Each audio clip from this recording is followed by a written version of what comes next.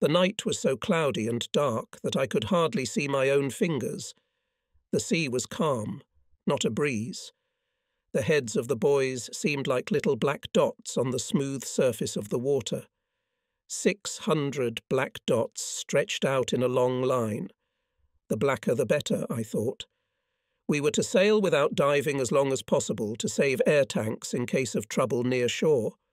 Barbed wire or mines could create additional difficulties, so it was decided that Willie, Wolf, and I would go first.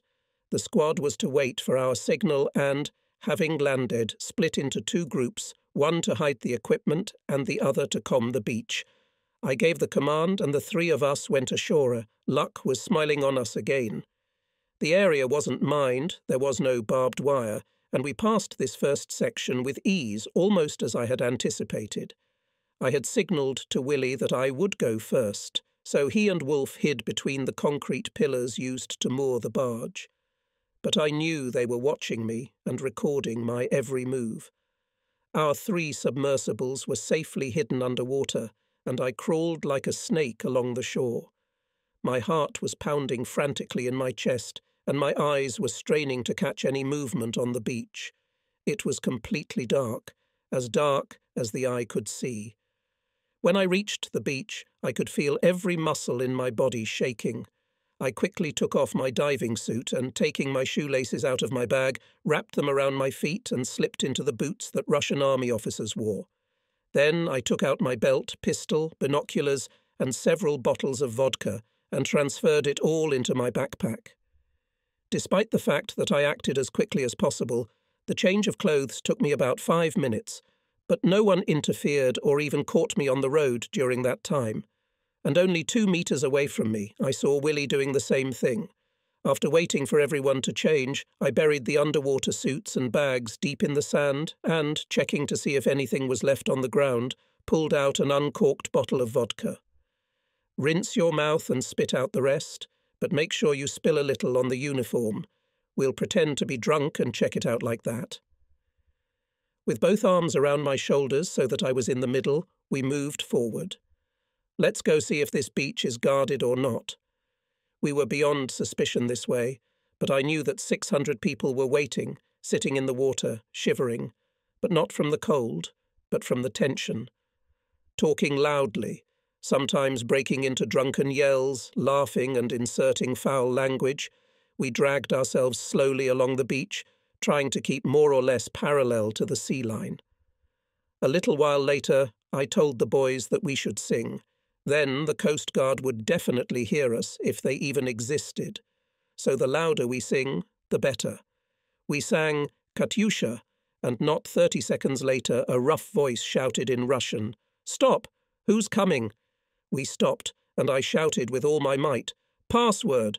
Blue Sea! It worked. If someone had told me that, I would never have believed it. We continued singing. Stepping carefully, a Russian guard approached us. As he approached and examined his uniform, he spoke quickly. Hello, comrade senior lieutenant. Greetings, soldier, I replied. He smiled and relaxed. You know, at one point I thought, what if one of the Germans landed on the shore? But then I realized that there was no way they could have come without ships. He was silent, waiting for our reaction, whether we would laugh or not. So Willie clapped Wolf on the back and shouted, How clever you are! And we all laughed. The Germans don't even have any ships, I said. And if they do, we'll point our guns at them, because we've seen them here, and we'll drive them from here all the way to Berlin. Not thinking long, I decided to turn the conversation to another topic and asked, I don't see any guards yet. Have they been alerted? Oh, they may be on the other side of the shore. Because of the noise of the sea, you can hardly reach them, and it's a long way away, so it's almost impossible to see anyone from here. How far apart are the posts? Every 300 metres. And where is the command post? I asked a question, not expressing any particular interest. He waved his hand nonchalantly in the southern direction. One kilometre from here. Great, I thought. A whole division could pass through here. I offered him a drink and filled his mug from an unopened bottle. He swallowed the vodka as if it were water. Let's go see how your partner is doing, I suggested. He gladly agreed. We moved forward, and halfway there we spotted him. Ivan, called him our friend. Yes? Come here. When he approached, our friend introduced me as Senior Lieutenant Kirillov. From Vitebsk, he added. Ivan smiled happily. My house is twenty kilometres from there. So let's drink to that, I could only reply. The guard impatiently snatched the mug from my hand and swished the vodka. They drank it like water. I filled the mugs again, and this time they barely had time to swallow the contents before they immediately passed out. Continuing to speak Russian as if nothing had happened, I took out a cigarette, lit it, and flicked it on, keeping the match burning as well. To the careless guards, this sign would have said nothing. Without wasting time, Willie rushed to the water to meet the 600 men who were already swimming toward him at top speed. I decided to send Lieutenant Wolf to help Willie, to give the boys instructions in case Willie missed anything. You got seven minutes. The submersibles need to be hidden deep enough so they don't get washed ashore by the tide. Wolf rushed off to do his job and disappeared into the night. I remained standing near the guards, thinking over every detail of what to do next. It seemed to me that I had a loudspeaker inserted into my brain which continuously repeats the same thing. Remember, your task is to destroy all communication centers. This is the most important. Eliminate communication first. The main thing is to leave them without communication, and the longer they do not come to their senses, the better not only for you, but for the entire German army. In this way you will save thousands of lives. We are several times less than the Russians, so we must act precisely. The people and the Fuhrer will be waiting for the successful completion of the operation. Then Willie showed up. Everyone is changed and ready. All but the essential equipment is safely hidden. I nodded. The guards were unconscious as they were, but should be recovering soon, so I told Willie to lift one while I busied myself with the other and hold it upright. As we lifted the soldiers to their feet, their bodies collapsed helplessly on our shoulders. It worked, and they began to regain consciousness almost immediately. Ivan muttered something like, This drunkenness will do no good. The one I was holding also regained consciousness. I again poured vodka into mugs and handed it to them, and to my amazement, they did not refuse, even in their condition. When they returned the mugs, Willie and I also drank to success, but to whose success we were silent. Then, turning to the guards, I said, Don't raise the alarm if you hear any noise. My battalion is down on the beach now, and they will be here soon. Barely uttering this sentence, I heard a noise, and a few seconds later Wolf appeared ahead of the marching band, leading it straight to where we were standing. Giving the command to stand, Willie came up to me and reported, 77th Coast Artillery Regiment has arrived on the spot. Permission to proceed, Comrade Senior Lieutenant. To confuse the guards, I ordered him to take the men to the hills not far from here and leave them there for a couple of hours. Then, turning to the Russians, we talked about how much death war brings. When the last of the squad had passed, I gradually brought the conversation to a close, and after saying goodbye, Willie and I withdrew. There was no need to worry about the guards reporting us, for they were afraid of punishment if they were caught drunk on duty. They could end up in a penal battalion or in the front line, and every Russian knew perfectly well what those words meant, and those who tried to escape were shot, or they were blown up in the territory mined by the Germans. Those who tried to still pass through the minefield were shot at by German infantry. So any attempt to escape ended in one thing death. After running through all these reasons in my head, I could be sure that we would not be bailed out. We had studied too long and now knew more than well the system of the Russian army. The ordinary soldier had practically no rights. An officer could take off his belt and whip him to a pulp without listening to the guilty man's excuses. Walking along the shore, we came to a level road running between the bay and the forest. I ordered to allocate a man from each squad, who would be at a distance of fifty metres from the rest and listen to any suspicious sound and closely observe the surrounding area. In case any movement was noticed, they were to report to me immediately. I then gave the boys final instructions. The first squad is immediately sent towards the railroad tracks in order to blow up the bridges and further, to destroy all living things in its path. You know what to do next. The second detachment is sent under the guise of military police to bring confusion and misinformation to the regiments and to send army detachments in the wrong directions, replace signboards by painting new ones, in short, to do whatever was necessary. Unit number three. Remember everything you've been taught. Your job is to listen to the equipment and to know where the troops are going. Fenrich Vogel, you're very good at impersonating voices. So, when the main communication centre will be destroyed, immediately distribute new orders to divisions. What to do then? I do not think it is necessary to repeat. The first squad divided into three and left in formation, marching across fields and along rivers, using the available map as a guide. Squad number two, also divided into three sub squads, went to fulfill their mission, which was to destroy fuel and weapons depots. The third, having disbanded into groups of nine men, was left to take control of all roads. All telephone wires leading to and from Odessa had to be cut without exception, and quickly. There was still a fourth detachment left, and it was to do the most important work. For this reason, Willie and I stayed with him. We discussed a plan of further action, which was that, having reached the harbour, we would divide and with an incomplete detachment openly enter the gate.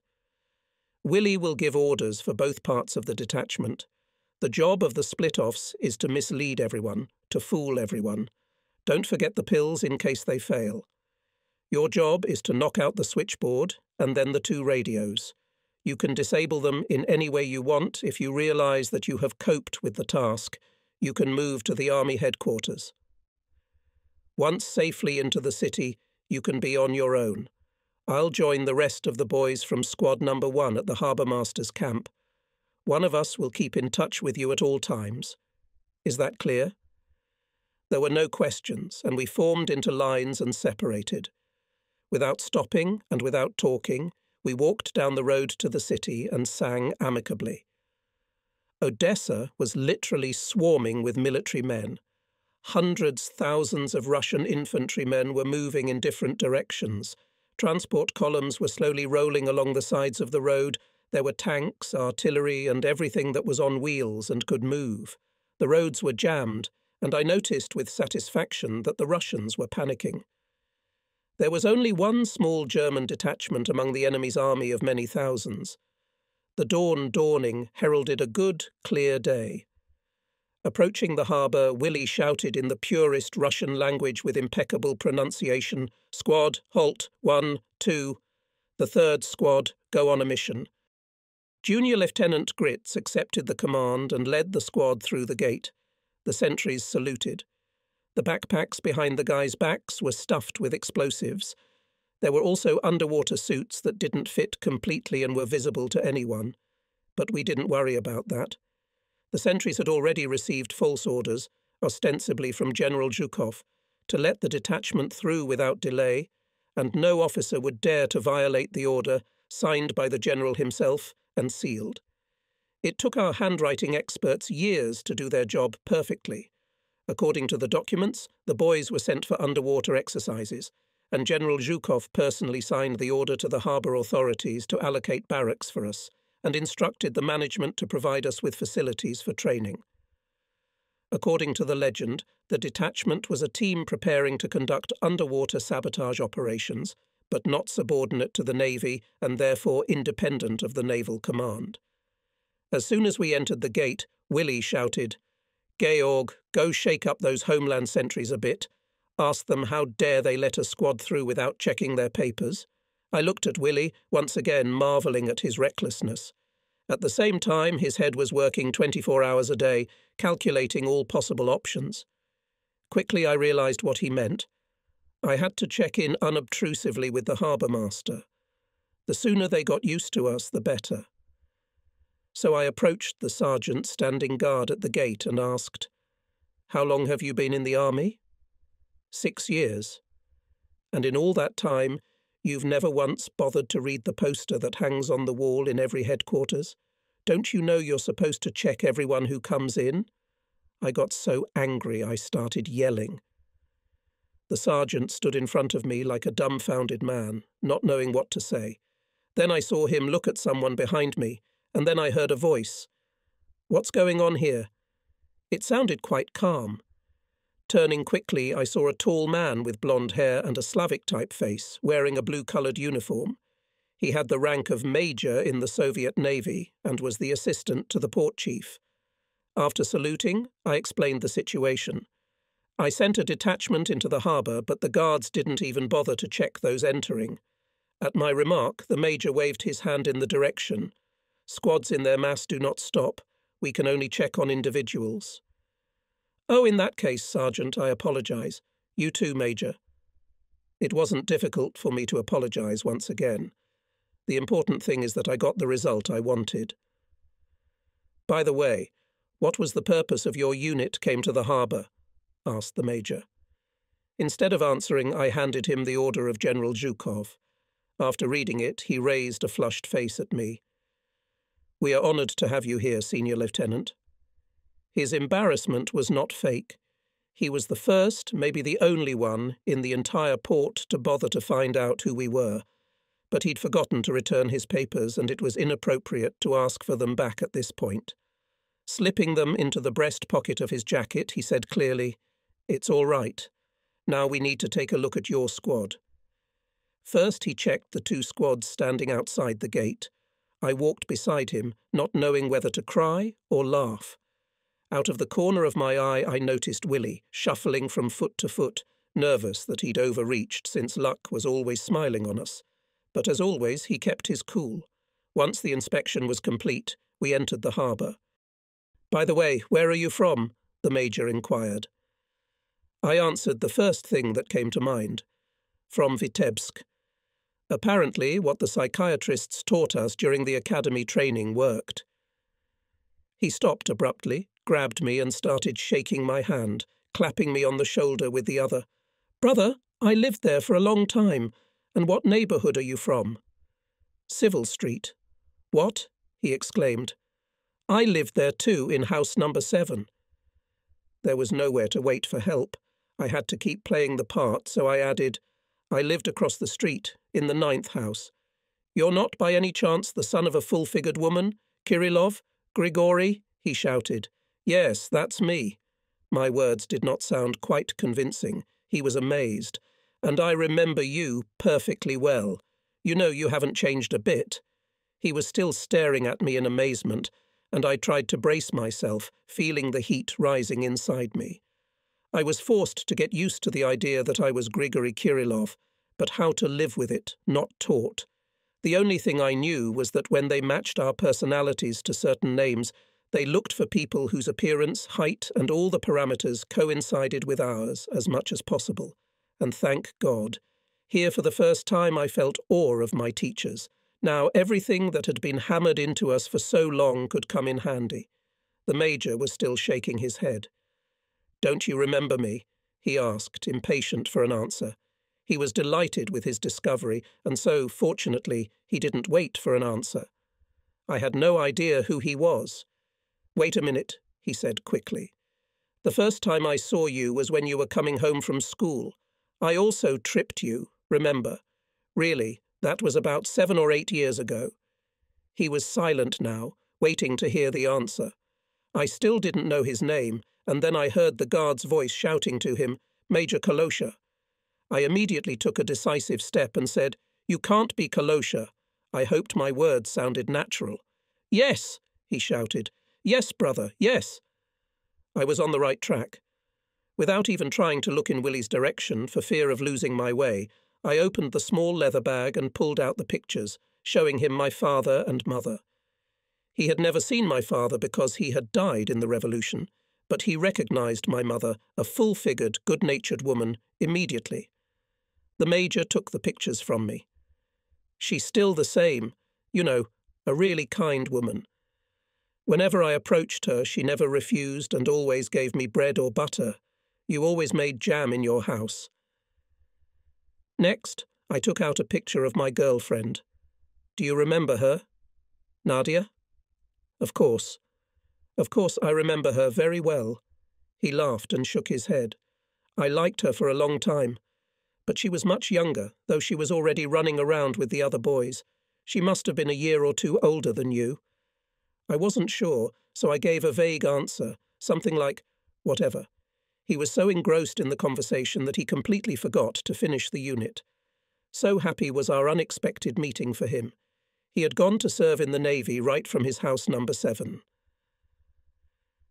He talked for fifteen minutes about Vitebsk, about the people who lived there, asking me questions, to which I answered with all my wits, sometimes vaguely, sometimes clearly. He was so impressed that when I tried to change the topic of conversation to another direction, or rather to talk about the war, he did not react and continued talking, patting me now and then on one shoulder and then on the other. I told Grits to read the order, but he only skimmed the lines and slipped it back into his pocket. There was not a shadow of doubt in his mind. I will give you the finest quarters that there are in all Russia, he exclaimed. We have a whole wing of empty barracks. No one will disturb you there, and you can do whatever you like. Just make sure you don't blow up everything, but leave something behind, he joked, referring to our loud laughter. He led us to the barracks, also showing us where our kitchen was. The mess halls are now open 24 hours a day. You can come in at any time and eat. They make mostly borscht and rassolniki for the first course. That's good, I said. I had just worked up a wolfish appetite. He still hadn't read the order, and it was still in his pocket, so I was worried whether he was going to give it back or not. After we looked at our rooms, he walked me through the staffs and introduced me to the harbour master, proudly mentioning how he used to trip me up when I was a kid. Look at him now, and you wouldn't believe he was once a regular tomboy. But the chief was too busy to listen to any more stories about our childhood, so Major Kalosha took me to his office to write out passes for all the other guys. As he took out the papers, he seemed surprised to have them in his pocket. At least this time he'd give them back to me. Here, I don't need them. Just keep the lists with the names on them. Better keep the orders until you're done with the drill. Though he had already returned the documents, he seemed to have completely forgotten about the two squads waiting outside the gate. I could only imagine how Willie would react when he heard about this story. It wasn't really a big deal. Units and sometimes whole battalions of the Russian army could wait for days for the return of their commanders. Kalosha started talking again, pointing to my chair with an apologetic look, but I said I couldn't stay. I'm sorry, but I have to. I still have to deploy my squads. Grigory, I have a surprise for you tonight. I've been living here for a while in one of the staff houses, and we're meeting there tonight. And the surprise is that my wife will be there. I'm sure you know her, I asked, not really hoping to know who she was, but he just smiled enigmatically. You'll see for yourself later. Thanking him, I left and walked quickly toward the harbour gate. Willie looked at me. Georg, what the hell? You and him were walking all over the harbour and cooing like a couple of lovebirds. Do you want to know why, Willie? I muttered. Because Major Kalosha and I went to school together. He's very proud of those years. But I'll tell you, I'm even more proud that I didn't get cracked. We both laughed. We marched in formation into the heart of the city, heading for a park just across the street from the Odessa Communications Centre, the same one we had studied thoroughly from the movie and where I intended to leave my second unit. They broke away from us at the far end of the park and turned in the opposite direction. Now came the most important moment for them.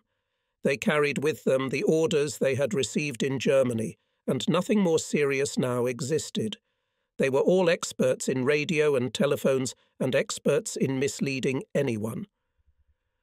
We watched them for a long time as they walked through the park, knowing that it might be the last time we saw them alive, and then we turned back to the harbour. All the way back, I was tormented by one thought. Who is Kalosha's wife, and what will her reaction be when she sees me? What if we were in love as children? Of course, she was the girl Kalosha was no doubt sure of. That's for sure. We need to come up with some kind of plan, but what kind? If I can't figure this situation out, then at least the unit can pack up and go home now. Well, who would have thought that in such a huge country like Russia, I would meet someone who happened to know the real Grigory Kirillov? And it was from Vitebsk. And then there's this wife, as it happens. Sighing heavily, I returned with the rest of the squad to the harbour. Coming out of the barracks, Willie and I went straight to the mess hall, leading our own. Our stomachs were demanding food. We walked up to the square window where the food was dispensed. I expected to see a fat sergeant looking out of the window, but I was wrong. In the window was a young girl, maybe a little older than me, but still a girl, dark haired, with big brown eyes, and even so inexperienced a fool as myself noticed at once how well built she was. I was speechless and stood there staring at her. She looked back, and I felt the colour flood my face. A minute seemed like an eternity, and we stood staring at each other, not taking our eyes off each other. Then she smiled weakly at me, and I smiled back, feeling the tension subside. Overpowering myself, I spoke. I'm hungry as a wolf, the voice sounded nothing like mine. This time she smiled genuinely, showing beautiful white teeth. Without saying a word, she turned away for half a minute, and when she turned back, she was holding a full plate of potatoes and meat with gravy. Are you new here? she asked. Just arrived, I answered, looking at the food. I'll come by at three o'clock. If you want, we can walk around and I'll show you the harbour. I looked at her a little surprised. I'd have to work up the courage for three weeks to offer her the same thing. Oh, that would be nice. But despite the sympathy I'd generated, I was already pursuing a personal agenda, planning to get her to talk about Kolosi's wife. Surely they knew each other, and that conversation might help me. She treated Willie less kindly. Holding out a plate of food, she barely glanced in his direction. As I left, the girl winked at me and turned back to her work. Willie was indignant. Georg, although I feel very bad, I still forgive you. We sat down. OK, I'll give you some tips on how to treat a girl. Willie, I've known you for over three years, and I was wondering when you became an experienced lover. Well, it's not that complicated. I just know a little more than you do about these things. You see, some people are born with it. Now, listen carefully. Wait for her at the back entrance to the kitchen, and when she comes out, you can talk to her. All you need to say is how wonderful, extraordinary, beautiful, enchanting, and so on she is. Then, when you've been walking for half an hour, take her hand and squeeze it gently, but don't do it again. From there, just keep walking. Listening to him was a pleasure. After a little while, when she gets used to you, you take your time and put your arm around her waist but keep walking without stopping. Just lead her to a place where there will be no extra eyes, no one to disturb you. Then stop and look into her face. Look straight into her eyes with a long stare, and then smile gently and kiss her. But you don't just kiss her, you have to hug her too. By the time Willie finished his story, my plate was empty. I'd been spooning so fast that before I knew it, I'd eaten it all. I looked at him curiously. Willie, I know that in three years you haven't had a chance to date or meet girls, so how do you know all these things? You're not telling me you haven't heard of any of this stuff, are you? I blushed and nodded. He laughed, and then admitted that he'd just read love novels that described it all. Now that made me laugh. I didn't realize you had time for that. He replied with his mouth full. Try reading them sometime, Georg. You'll see. You'll like them too. I glanced at my watch. It was ten minutes past three, and a whole fifty minutes had to be killed somehow. While we were sitting there trying to fill the time, a boy from the third squad came in and told me that Major Kolosha had sent a car for me. Willie immediately knew how to proceed. He suggested we go and see what the other squads were doing. I approved his suggestion. The sooner the liaison squad could give information to the others, the better. When the guy left, I couldn't get rid of the thought. Today we are alive, and tomorrow we can be killed, so we should enjoy life here and now, though it didn't usually cross my mind. Ten to three. Now I was really starting to get nervous. I hadn't been able to stay in the kitchen for the last fifteen minutes, so I'd been running back and forth. I had even forgotten about Kalosha's wife. I was thinking about what Willie had told me, and I was already imagining squeezing her hand and kissing her a thousand times. The thoughts were running themselves, and I couldn't stop them even if I wanted to. What's wrong with me? I asked myself. I'd never been kissed before, and the fate of the whole squad depends on this date. Conflicting thoughts rushed through my head, and my mind didn't agree with my feelings. She came out of the kitchen door, smiling at me, and extended her hand. By the way, my name is Marusia. And you? Grigory. What a beautiful name. She took me under her arm, and we walked. In the next half an hour, we exchanged literally a few words, and I began to think how to get to the point, or rather, how to put my arm around her waist. We went to the farthest end of the harbour, and it felt like Willie wasn't giving advice to me, but to Marusia, because she was leading me in the right direction. I was completely subdued and was preparing to make a decisive step when she stopped. Grigori, you're blushing so much. Didn't you have a girlfriend back home? No, I answered without thinking. After all, Georg von Konrad really didn't have a girlfriend. But then I realized that anyone in my place, even if he had a wife with six children, would have said the same thing, and so I relaxed. It was a mistake that could have been easily corrected. You're so different from other men, she continued dreamily. They're all about getting a girl in their arms and kissing her. You're the first one who doesn't act like that, and that's why I like you. I smirked. To hell with Willie and his instructions. They're just words written on paper. And from now on, I'm going to be myself, or as much as Kirillov will let me. We both felt a little more confident now, and I unobtrusively inquired if she knew Kalosha's wife. It turned out that she did, and very well, very carefully so that she wouldn't see the catch, I began to question her. What's her name? Nina. That was something. At least now, when I ran into her, I could exclaim joyfully, Nina, you're the one I never expected to see here, or something like that. Then another thought occurred to me. I had no idea what she looked like, so I asked, Does she look good? Well, Marusia shrugged her shoulders and started to speak, but then she hesitated. Wait, why do you ask? Maybe you're going to hit on her. Not knowing women at all, I made a rashness, asking such a question. I think Marusia was getting angry. Oh, Marusia, I exclaimed, stirred. You have misunderstood everything. I asked only because we are from the same city. She relaxed. No way, that's great. Her voice sounded different now. Why don't we come over for a cup of tea? I'll introduce you. She's my best friend. I couldn't help but latch on to the opportunity. We headed for the Major's house, and the rest of the way she talked incessantly about Nina. I didn't try to interrupt her. I wondered if Nina was as talkative. When we reached the house, Marusia opened the door without knocking. Nina! A voice came from somewhere in the back of the house and allowed us to enter. The hallway turned out to be very cosy and meticulously cleaned, although everything here was extremely simple. But then, under the communist system, there were no rich houses in Russia. A woman of striking beauty entered the room, dark brown loose hair thrown back over her shoulders. She was a little overweight. For a moment we looked at each other as if we had known each other before, and then Marusia said, Nina, meet my new friend Grigory. He came from the same town as you. Nina wasn't stupid at all.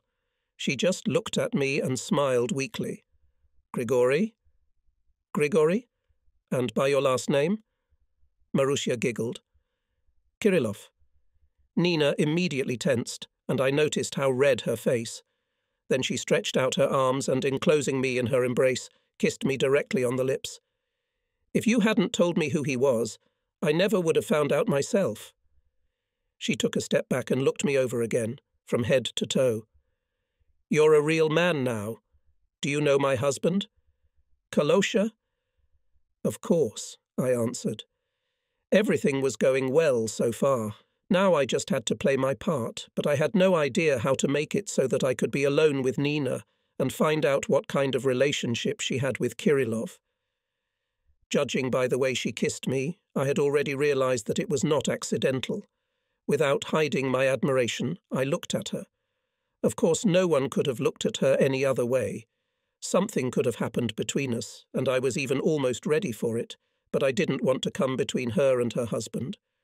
That was not at all why we had come to Odessa. Nina set the table and made tea. I drank from my glass, giving the women the opportunity to talk, and answered only when they asked me something. Marussia took my behaviour quite naturally, since she thought I was shy, but Nina seemed to have other reasons, and I needed to find out what they were. But in order to make sense of it all, I needed to get rid of Marusi. Thinking about it, I refused the second glass of tea offered by Nina, saying that it was time for me to return to the detachment. Marussia immediately asked, I'll see you again, won't I? Sure, maybe even tonight, here. I looked at Nina, and she nodded. Then I said goodbye and walked away so that, being hidden, I could watch the people passing around the house. After walking a hundred metres, I hid in the trees and watched the house, waiting for Marussia to leave. Fifteen minutes later, I saw her come out and walk in the opposite direction. As soon as she was out of sight, I returned to the house, this time knocking on the door. Nina responded immediately, and upon entering, I found her in the kitchen. Before I left, I put my notebook on a chair in the hallway so I could use that as an excuse to come back later. I'm sorry, Nina, but I forgot my notebook. It must have fallen out while we were talking. We started looking for it and found it almost immediately where I'd left it. Anyway, I added, there's nothing important in it. Nina smiled and brought more tea. Listen, why don't I pour you some vodka? she asked. Not having time, I thanked her and refused. I had to find out everything about Nina before the Major came back and found me here. I drank my tea in small sips, waiting for Nina to start the conversation first. As I had hoped, this wise woman was the first to talk about the past. And you, Grigory, were a real little devil, she giggled. Remember how you took me to the rye field? I blurted guessing what she meant. It was more what I'd expected. Nina smiled, looking at me, and I quickly asked, Does Kalosha know? Why, of course not, she whispered. He's so jealous. How good it is that you met Marussia. Otherwise, he might have guessed everything. I nodded in agreement. Today, Marussia was sent to me by God himself. Before I knew it, Nina was sitting on my lap. Grigori, all those years that I lived with Kalosha, I remembered about you. Wrapping her arms around my neck, she began to cover my face with kisses. Naturally, I liked it, but it was getting too complicated. I started to twist my head around, trying to get free and pull her away from me. Ah, Nina, I mumbled. As much as I'd like to stay, I have to go. But I'll see you tonight. See you tonight, then, she said, kissing my nose. I walked out of the house with a foggy head. Overwhelmed with emotion, I was half running, half stepping my way through the garden. Only persistent reminders to myself that I was an officer of the Red Army distinguished me at that moment from a bouncing two year old child. I threw a few pebbles across the street and entered my barracks. Today? God, today. Suddenly I realized the meaning of those words. The real trouble hadn't even started yet. How could I compete? Yes, just pretend, obviously already experienced in love affairs, Grigory. Georg boy, if you ever need help, it's now. I found Willie in the barracks, just back from inspecting our squads. Well, Georg, you're not the only genius around here. The liaison squad has found a whole house for themselves. They're all settled in and feeling like kings in a palace. You know, things are going well, at least for now. I hope it stays that way. The guys have already booby trapped everything, and as they told me to tell you, tomorrow at midnight, their communication center will go up so high that even Stalin, sitting in Moscow, will see the spectacle. If everything works properly, no one will know how it happened. Excellent. It will take the Russians a few days to re establish communication and get the message back. But that won't be enough. What about the high voltage line? We'll know by tomorrow at the appointed hour. Our communications team has already done the work wherever it's needed. So far, we haven't had a chance to communicate with the other guys who are on the mission, but thanks to the car Kalosha so kindly provided us, we can keep in constant contact. I nodded, completely satisfied with the arrangement. Still, I was grateful to Major Kalosha for his involvement. He had made our task very easy. Evening was approaching, and it was already time to go to Nina's again, so I went to my room to clean my uniform and tidy up. The water was ice cold, but there was no other. I took a shower and then cleaned myself up for ten minutes in front of the mirror, combing my hair and trying to look as much like Kirillov as possible with my facial expression. Then I went to the Major's house. Nina had already opened the door and was waiting for me on the porch steps. Marussia was also here.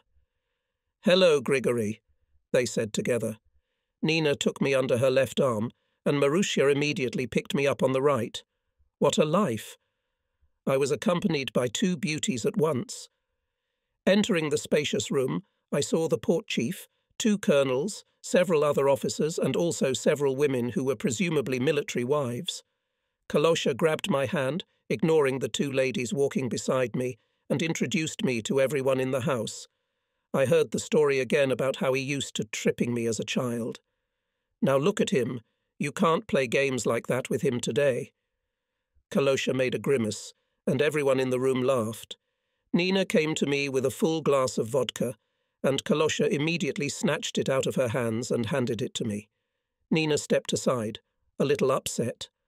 Well, there was no surprise, Kalosha exclaimed. Perhaps it was for the best, though, otherwise you both would have died of shock. There was a rumble in the room. All right, said the Major. We must have a drink. I raised my glass and slowly looked around. Nina, Marussia, and Kalosha looked at me eagerly. To victory and to love, I said. All three of them liked my toast very much. One of the colonels thought it was a quotation from Shakespeare, and at once began to think of me as belonging to some literary society. I did not dispel his illusions. Nina started the gramophone, and after a few patriotic songs had been played, she put on a waltz and looked at me. Apparently, her look meant that I was the first of the guests to be invited to dance. Again, I mentally thanked my teachers, this time for fiddling with me for long hours, but still teaching me to dance. I stepped out and bowed to Nina. With a jokingly ostentatious expression of surprise, she accepted my outstretched hand and we spun around. The room was large enough that even though there were several couples dancing, it was comfortable to move, except that Nina was too caught up in me, squeezing my hand tightly. My instructor held himself in the dance a little differently. Yeah, now you've turned into a real man. This phrase she repeated several times, from such her behaviour, I did not feel quite comfortable. Marussia danced with the harbour master, but followed us without taking her eyes off, drilling Nina with an angry look. I sighed, knowing that the next dance I would have to dance with her. Willie's words echoed in my ears. Don't be like me, Georg. Then you'll certainly avoid a lot of difficulties.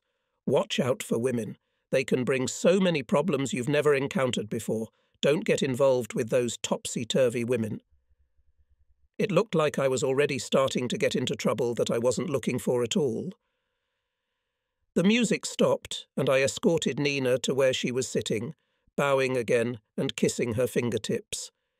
It was a tradition in Russia for officers to kiss the hands of the wives of their superiors as a sign of respect. But, as I realized, both Nina and Marussia took it quite differently. Marussi's eyes threw lightning bolts. The table was set in the corner of the room and was bursting with a variety of food. There was smoked ham, sliced sausage, fresh cucumbers and tomatoes, green onions, salad leaves, and freshly baked dark rye bread. To the right was another table laden with vodka bottles, clearly more popular at the moment than the first. Soon after the music had finished, a soldier called by the major came in to play the accordion. The soldier moved his chair to the edge of the table, and when a glass of vodka was poured for him, he knocked it over and immediately held it back for more. After that, he began to play. A few chords sounded, and he played a waltz, loudly, and very animatedly. I got up and walked towards Marusia. I walked and thought I should bow as low to Marusia as I did to Nina. Dancing with Marusia embarrassed me even more than with Nina. She squeezed my hand even harder, trying to be more assertive. I didn't know how to act, but unlike Nina, Marussia didn't say anything. It seemed to me this dance would never end. She stared intently at me with big brown eyes.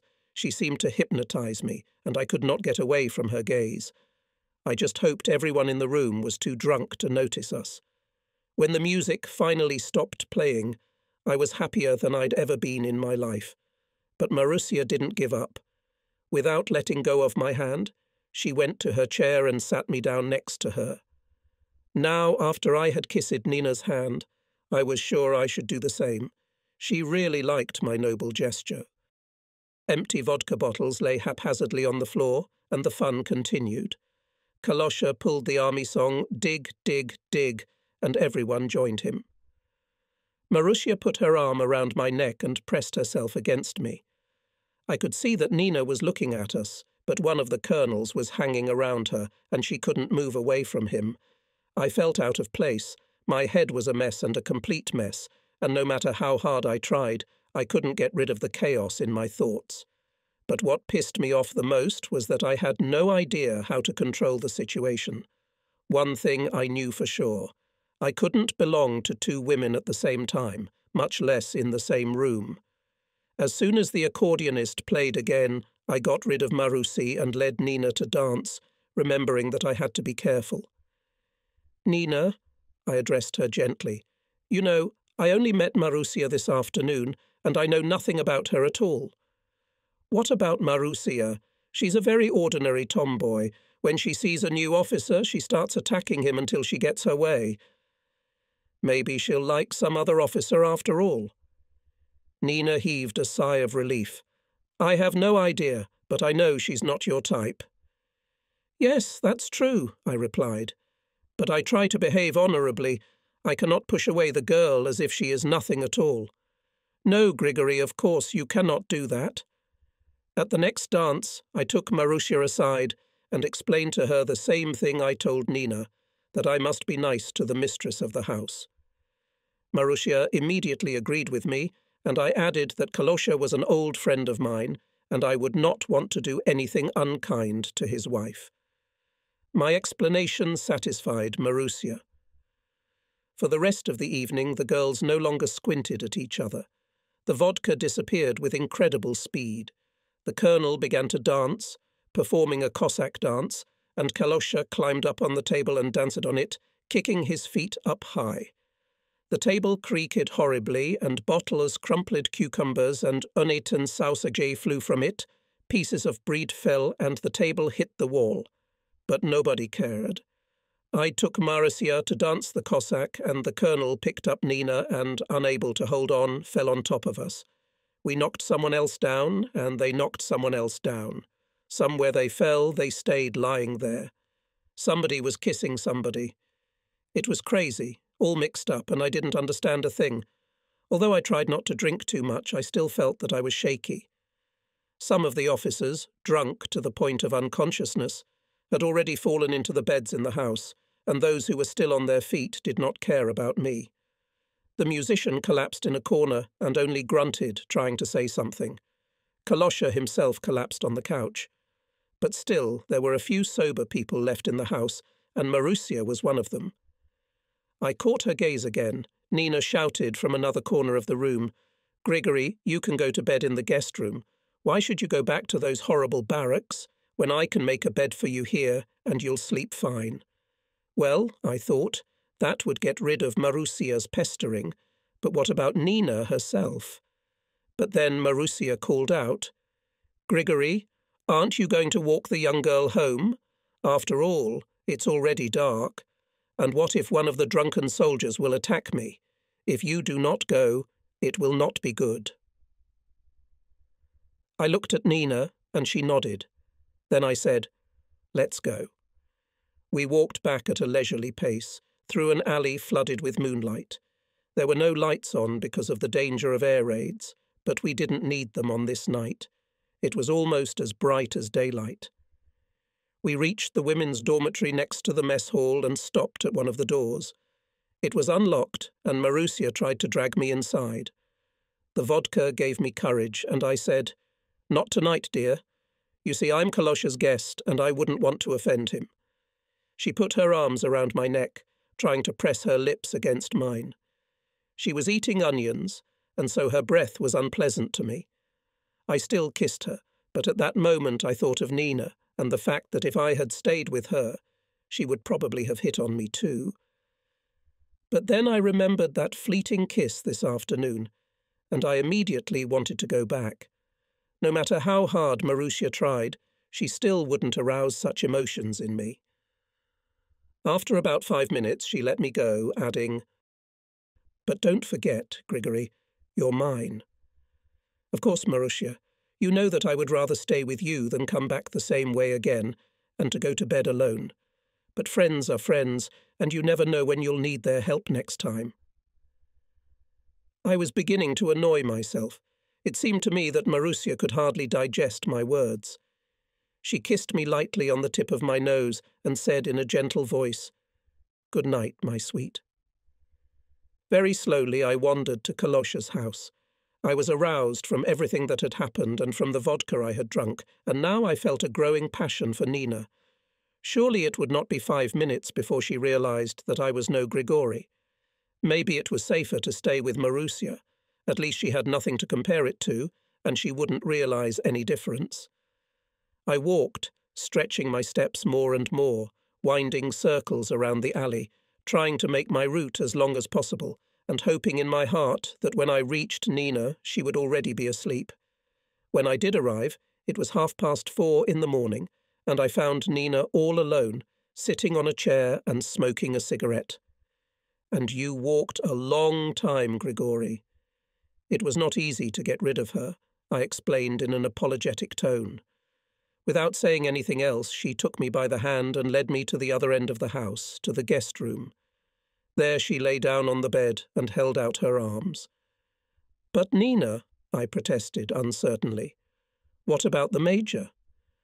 Ah, Grigory, it would be great luck to see him at least at ten o'clock in the morning, but even at that time he will still be too drunk to come to his senses. So we have nothing to worry about. I shuddered like an aspen leaf not so much because I really wanted to make love, having no idea how it happened, but because I had no idea how she had it with the real Kirillov. Should I jump on top of her, or lie down next to her, kiss her feet, or start with her hands? There could have been a million ways he'd done it, and I hadn't even guessed at least one of them. Now I wished I'd never even read anything about it. I could use Willie's knowledge right now. Nervously, I lit a cigarette and sat on the edge of the bed, playing with her hair and wondering what I should do next. Ah, Grigory, she said, stretching her words, you haven't changed a bit. At eight o'clock in the morning I was awakened by the gentle touch of her lips. I almost jumped out of my own skin, and then realized that I was lying completely naked, and in horror pulled a woolen blanket over myself. Nina, seeing my embarrassment, laughed. Why are you so shy today, Grigory? This has never happened to you before. I thought about what to answer. Now we are grown up, and everything has changed. It's been so long since we were children. Yes, Grigory, she said, leaning over and kissing me lovingly. I'll fry you some scrambled eggs with pork, and while you eat, I'll iron your uniform. What about Kalosha? Oh, don't worry. He'll be up in two hours at the earliest. I ate quickly and wrapped myself in a sheet, waiting for Nina to return my clothes. It seemed like hours had passed. The walls in the house were thin, and all sounds could be heard, and when footsteps sounded outside the door, I had no doubt at all that it was the Major. And when the door finally opened, I almost died. But it turned out to be only Nina, who came in with a wide smile and gave me my uniform. Then she kissed me again and disappeared into the kitchen. I got dressed in ten seconds, and together with the tray also went into the kitchen. She was already making breakfast for the Major, so I set the tray down and walked up behind her and kissed her behind her ear. I'm not a Major, just a senior lieutenant, so I'd better get back to my business. Will I see you again? Of course. She gave me another quick kiss, and I left. The cold air quickly cleared my mind, and my thoughts came back to order. Nothing could happen before the appointed hour. So I knew there was nothing to worry about at the moment and nowhere to hurry. The only thing I was a little worried about was what the boys were doing. I hurried to the barracks. Willie was already hanging around the entrance, waiting for me. Your mistress kept you late, and we were getting worried. We thought something had happened to you. Those women are nothing but trouble. You don't have to worry about me. I know what I'm doing, I said importantly. Willie looked at me suspiciously, so I asked him to give me a detailed account of what he had done. I'd better show you. I think it's too long to tell. We worked like diggers all night, and don't think we didn't scold you. He grumbled. First, we got close to the fuel supplies, and that wasn't safe. We attracted too much attention, but we mined one big ship and three small ones. It's hard to imagine what an astonishing sight it will be when they blow up. Willie turned and pointed to the opposite end of the harbour. See those two ships? They're full of guns, and now they're full of explosives. I nodded. They didn't train us for nothing, you know. We've become so familiar here that when we went on a mission, no one even paid attention to us. And Major Kalosha is a clever man. He provides all the conditions for excellent work, supplies everything we need, and thanks to him, we will not only destroy the harbour, we will tear the whole city to shreds. And, Willie chuckled, he'll give us free access to weapons and stores if we need them. The sentries at the gate were so used to our boys going back and forth that they simply saluted, uninterested in anything else. As we passed them, one shouted to me with a smile, Drop the cigarette. I, smiling good naturedly in return, threw the cigarette, and meanwhile my gaze stopped on the slowly and heavily passing tanker. How do you think to get there? And who's going? See those three men? He pointed with his hand. Those are our guys, and they're out there digging with ropes. I knew what it meant.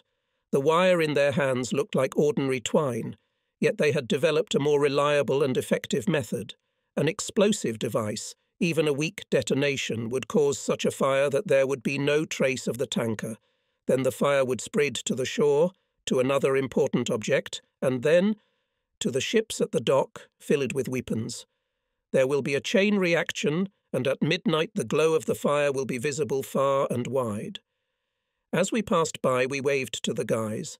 Straight ahead of me, I saw a small bay surrounded by crescent shaped hills, but there were no fuel depots visible anywhere.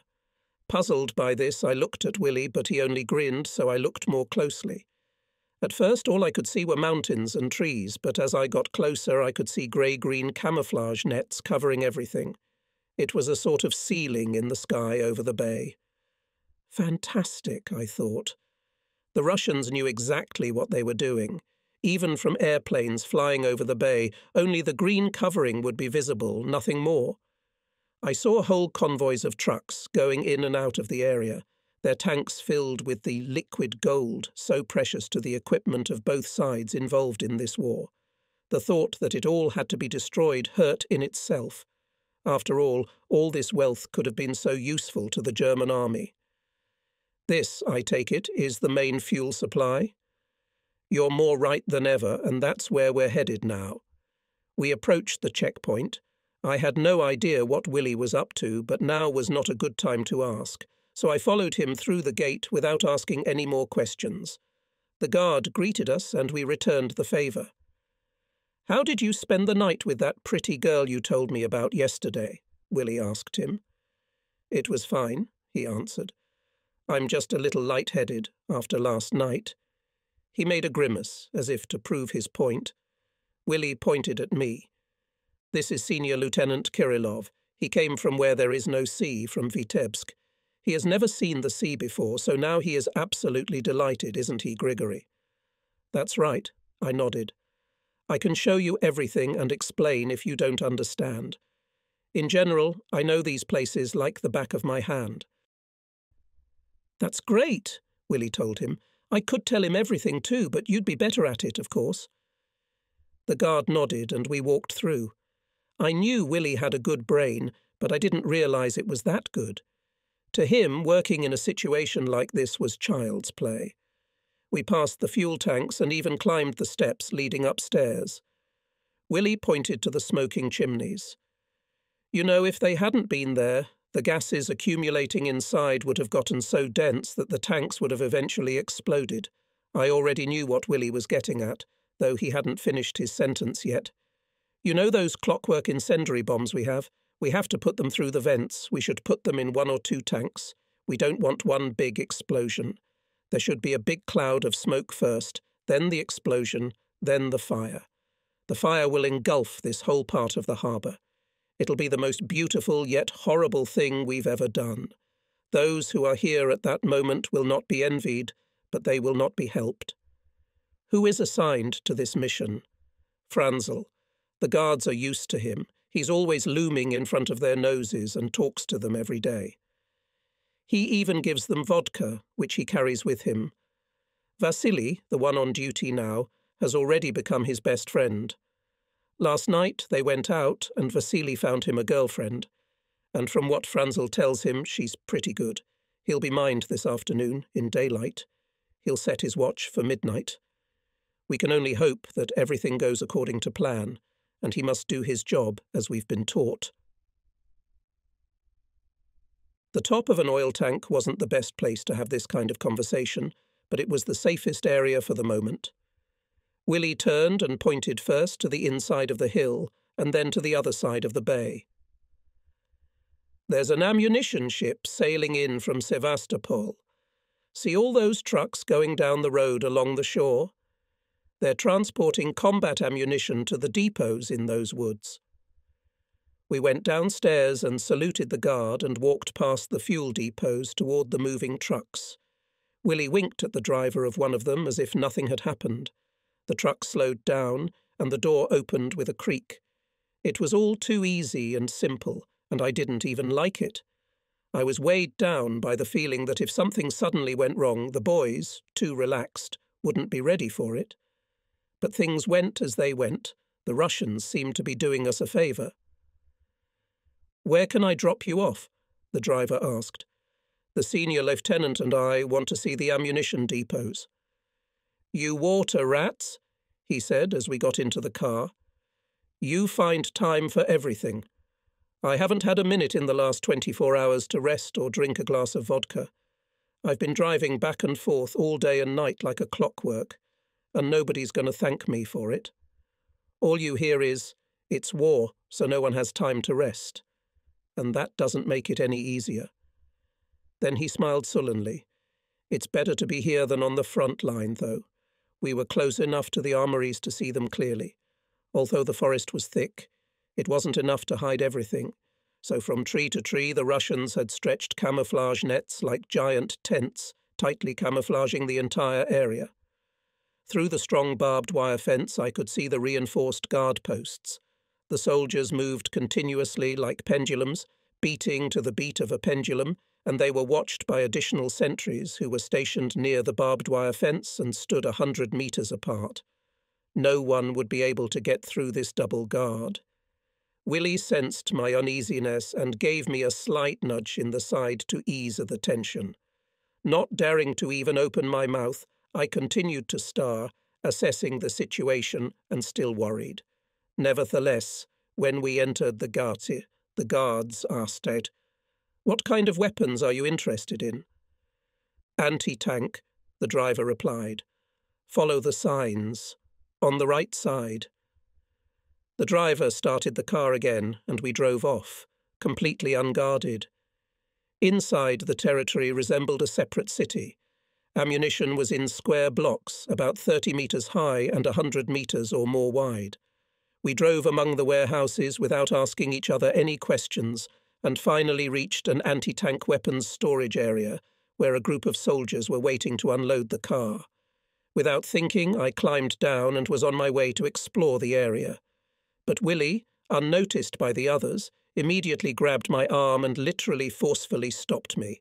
I didn't understand what made him grab me. The lieutenant in charge of unloading asked the driver, Who are these two officers?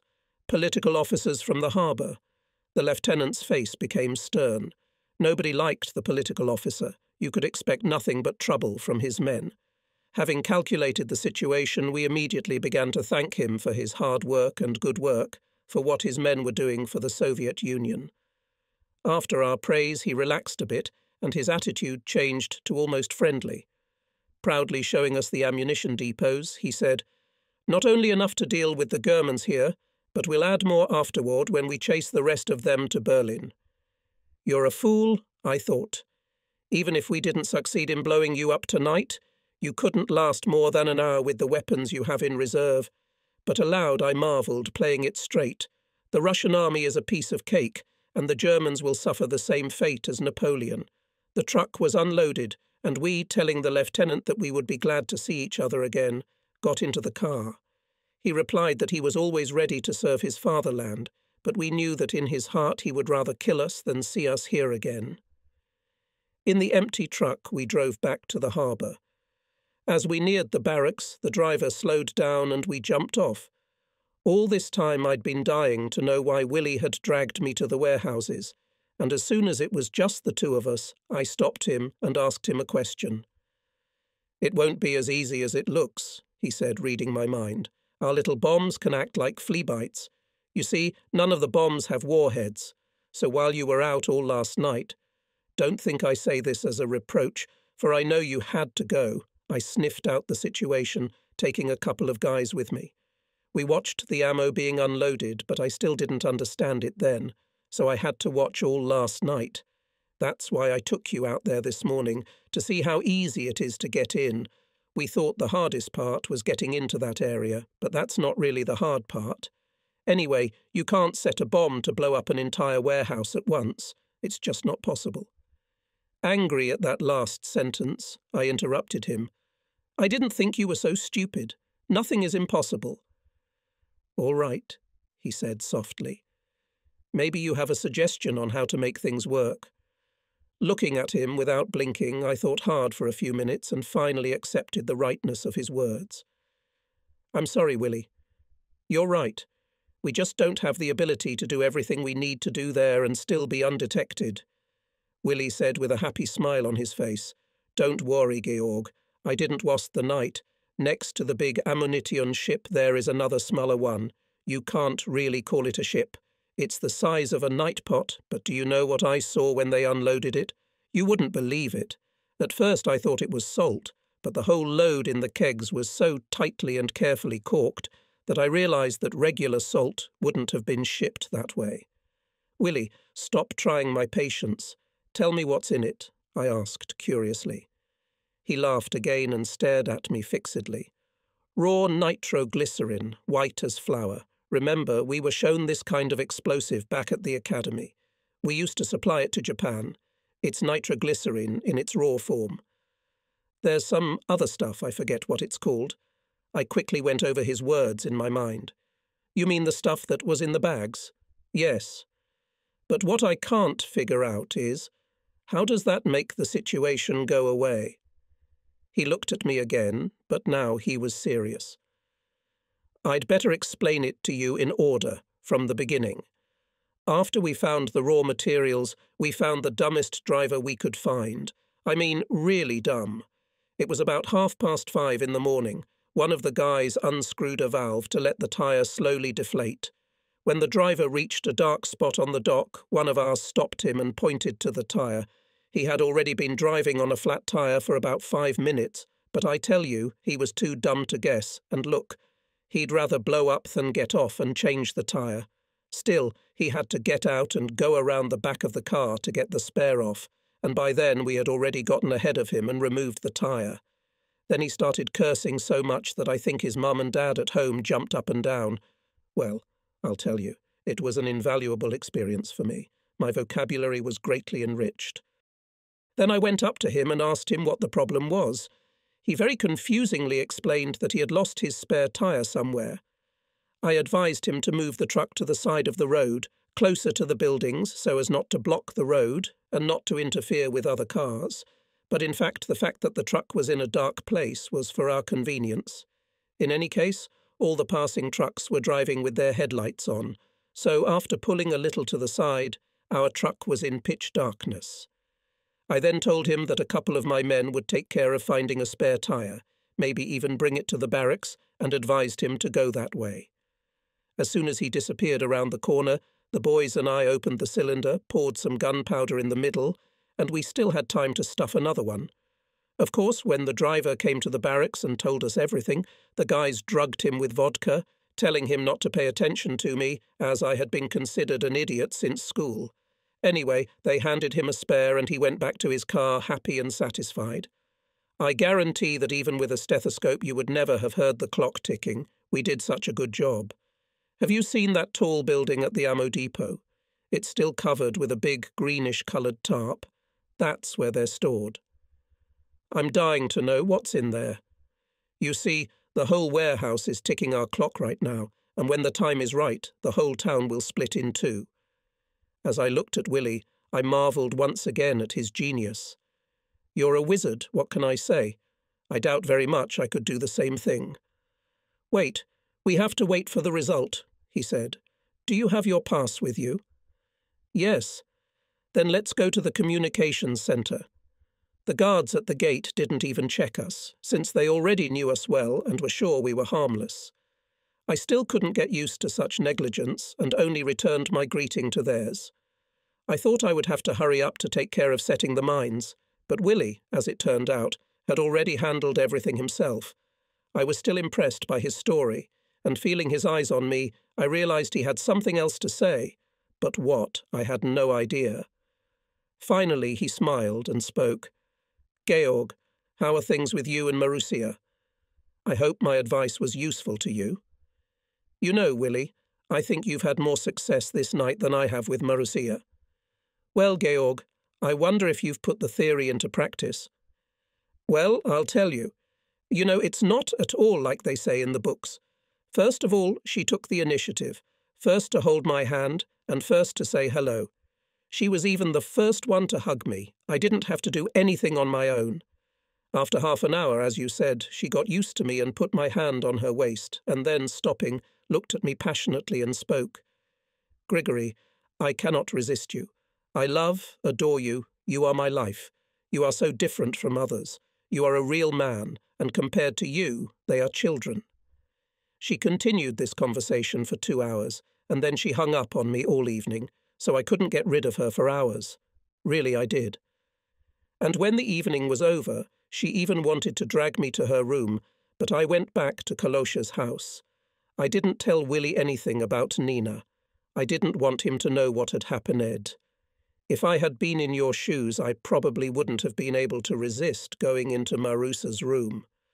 Yes, it's easy to talk now, but you probably wouldn't have done that. Georg, what does it look like? You know, kissing a woman? Only seriously. I smiled. Now it was my turn to give Willie advice. You should try it sometime, I told him. Then you'll find out for yourself what it's like. We approached the Russian Army headquarters, housed in a three story building with an imposing staircase leading up to the front door. This building was truly magnificent. A guard stood at each column and stared unblinkingly ahead of him. They change every two hours, Willie told me. They're really just decorations, but there are more serious officers inside than you think. How could a sabotage squad get in there? As easily and simply as we entered the harbour. They're a special unit for communications, communications, and radio installations, aren't they? That's right. They've got orders and all the paperwork to enter the building unhindered, and no one dared to ask them questions, not even the political officer. As we were walking down the corridor, we met Lieutenant Schwartz approaching us. He saluted but did not stop, so we also did not slow our step, so as not to be seen as acquaintances, and not even a shadow of a hint that we knew each other perfectly well flashed on our faces. We knew where our contact was, so we could get the information we needed if necessary. Then we saw a few of our guys entering the room to our right, but we ignored them too, as they ignored us. These headquarters housed the dispatch centre as well as the main think tank of Odessa. After walking down a couple of long corridors and turning around, We found ourselves at the end of the building and saw in the courtyard opposite us another building, smaller in size and something resembling a factory. This is the centre where the main communication equipment is located. This is where Odessa communicates with Moscow and all other cities in Russia, Willie explained to me. Here, all telephones and radio installations are connected to the centre. To destroy them means to destroy the whole mechanism. I nodded. I knew enough to understand what the guys were doing. They had complete freedom of action now, and if they wanted to, they could plant hundreds of bombs in basements, vents, and other places where they couldn't be detected. We headed back down the hallways, down the stairs, past the guards, and out into the street. Willie then led me across the road and the square, and after walking about 200 metres, we found ourselves in a large park. A monument to Lenin, surrounded by flowers and trees, looked at us. On one of the benches sat our man. He was basking in the sun and reading Karl Marx. We walked over and sat down on the other edge of the bench, talking loudly to each other. It was not unusual for two officers and a sergeant to sit on the same bench, and any person passing by did not care what we were talking about.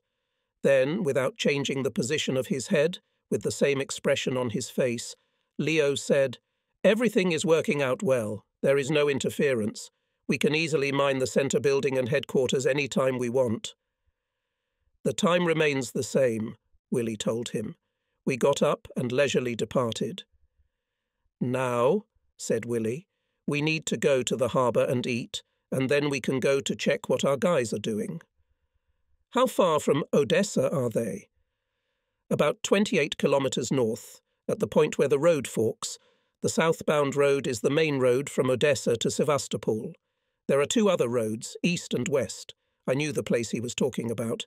I had the map in my eyes, which we were shown in the movie. A unit there would throw the Russian front into total chaos.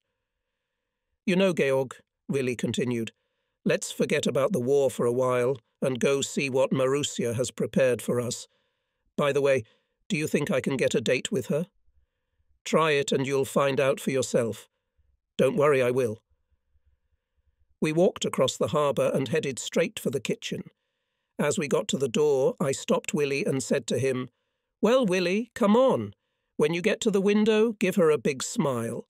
You're getting a little too bossy. Don't think you're the smartest. I have my own plans. We shook off the dust, walked in, and went straight to the window.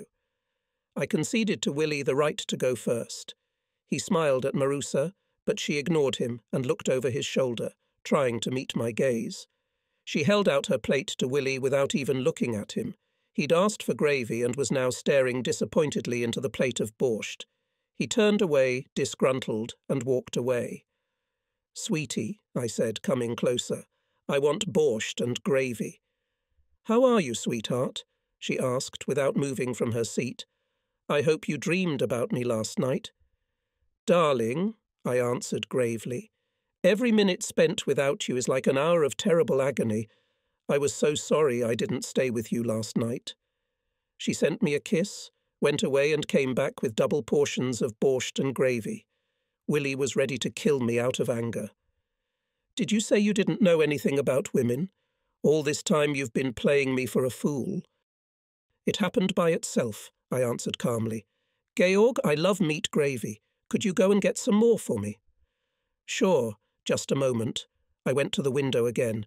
Marusia, my princess, you see, I can't be without you for more than five minutes. Listen, could you give a refill for my friend, even though he doesn't deserve it?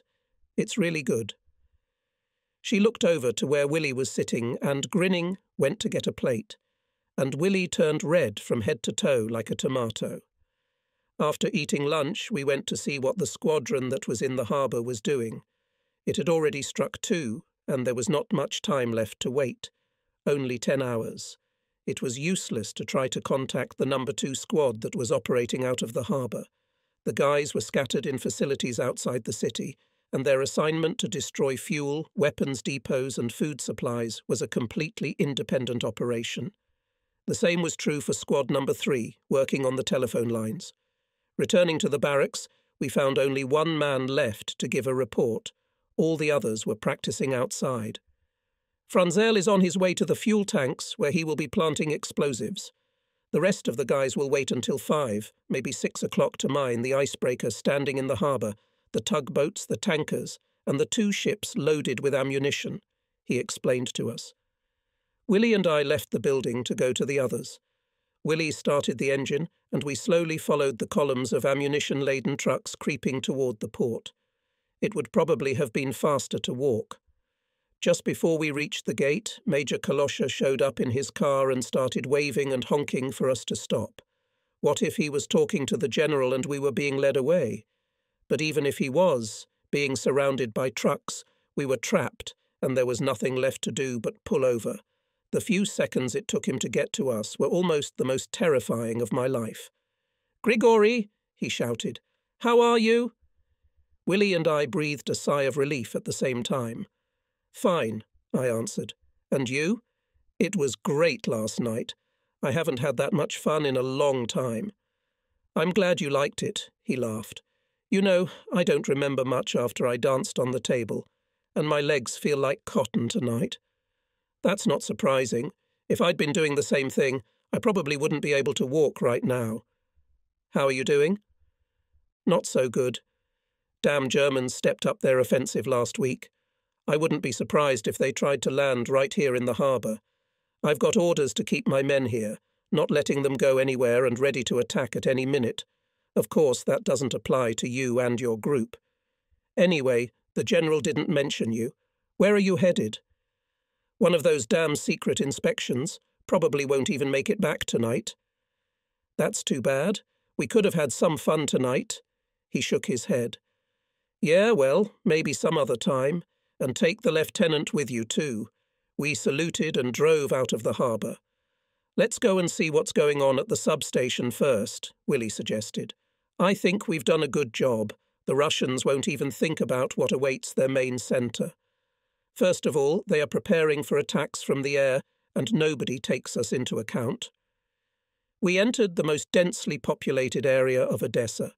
Most of Odessa's suburbs were filled with tall apartment buildings built for labourers, but now we were passing a place where there were private houses with their own gardens. Odessa itself was quite a modern city by Russian standards. Willie pulled up to a brick building that stood among the other houses and stopped the car. I realised that this must be the substation, surrounded by a garden and trees, which seemed absolutely ridiculous here. Why did you stand right in front of the main entrance? It's safe. There are three of our people already working inside. They're being explained how the communication system works.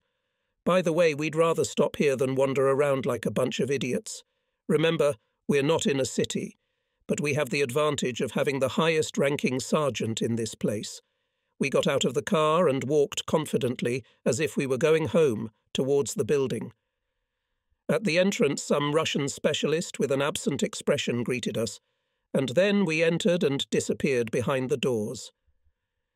When you get to places like this, it's wise not to ask too many questions, Willie whispered. You have to look like you're a hundred percent sure of what you're doing, otherwise they might get suspicious and ask us unnecessary questions. He led me down the hallway, and we found ourselves at one of the doors. It was a recreation room, and as we entered it, we were stunned as much as the people in it.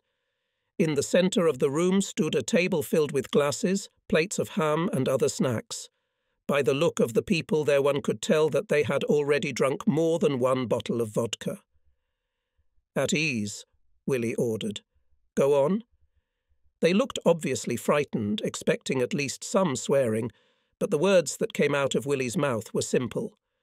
The senior lieutenant and I are from the communications squad, and we're just checking communications, so don't pay any attention to us. It's like we don't exist. They nodded and continued drinking. Among them were two of our guys. The third was missing. After leaving the building, we got into the car and drove to the end of the street. Then, turning right, Willie drove down the road about 200 metres and stopped again. There was a forest on our side, and opposite stood the private houses of Odessa employees, very beautiful and well maintained. Now we have to go into the forest, said Willie. Dropping the car, we walked a hundred metres. The forest smelled pleasantly of pine trees and damp earth. Moss grew everywhere, mixed with grass, which was covered with leaves that had recently fallen from the trees. And silence. Then we heard our contact whistling, and then we saw him emerge from the bushes. Any change of plans? No. Midnight, as arranged. What's the problem? I asked. He shook his head in the negative. Everything is calm. Without saying anything else, he disappeared again, and we turned back, got into the car, and drove in a southeastern direction. And on the road leading up, we met our next contact. A similar report followed. Everything was going according to plan. Then, on the same road, but already leading downwards, we were met by a third report, who said nothing new. The reports were beginning to become too monotonous, and our trip seemed to be a waste of time. Everything was going perfectly well everywhere. Now, without wasting time, the only thing to do was to leave the area, and so Willie headed northwest toward Germany, where our military police unit was located.